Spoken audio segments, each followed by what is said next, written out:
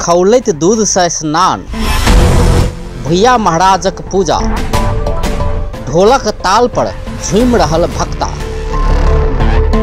मुसहर समुदायक आस्था।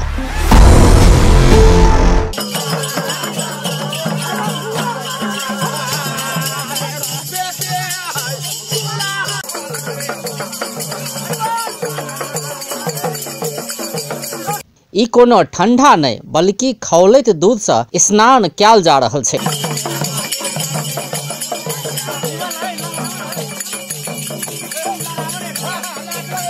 खास में खौलैत दूध से नहा कऽ मुसहर समुदाय भुइया महाराज के पूजा कऽ रहल छै।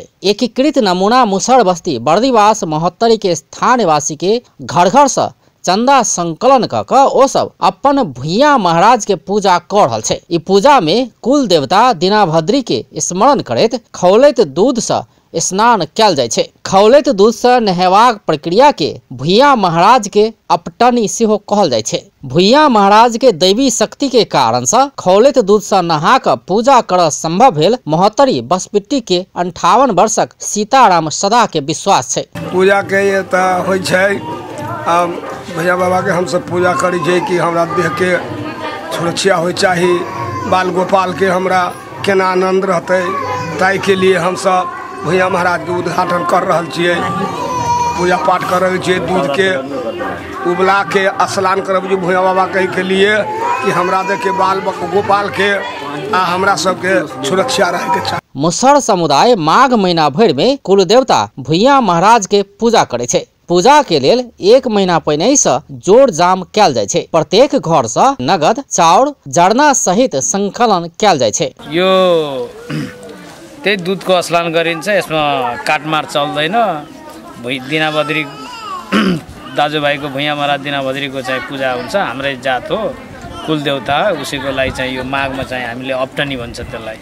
अनि त्यही दुधको स्नान गराउँछ यो चाहिँ कुरखेतमा गराउँछ।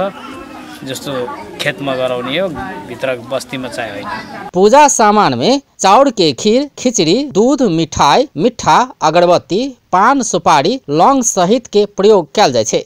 गरम दूध से भक्ता नहेला बाद साँझ में गौवा सब संगे बैस कऽ भोज खेबाक परंपरा सेहो रहल छै। ये पूजा लाग रहा हमरा सबके भूया महाराज के दिना बदली के कि हमरा सबके अपना जान के सुरक्षा के लागी सब चीज के अथी के लागी बच्चा हमर बाल गोपाल सब सब बढ़िया रहे ओहि के लागी पूजा करी छी हमसब एना कऽ मनोकांक्षा पूरा भेला बाद भुइया महाराज के अपटौनी अर्थात गरम दूध से स्नान कऽ कऽ पूजा करबाक परंपरा मुसहर समुदाय में रहल छै।